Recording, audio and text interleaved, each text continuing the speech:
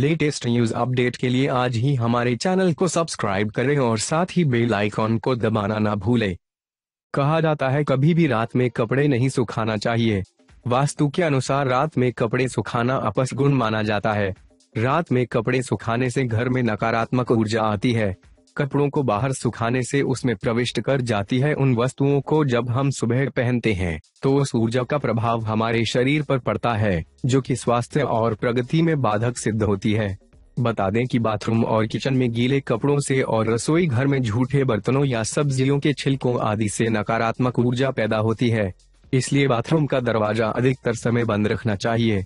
साथ ही किचन में जालीदार दरवाज़ा लगवाकर उसे बंद रखना चाहिए। अगर इन दोनों जगहों में दहली डोर सील लगाई हुई होगी तो नकारात्मक ऊर्जा बाहर नहीं आएगी। उसका विपरीत प्रभाव परिवार के स्वास्थ्य उन्नति पर नहीं पड़ेगा और इन स्थानों में पैदा होने वाले कीटाणु बाकी घर में नहीं खेलेंगे।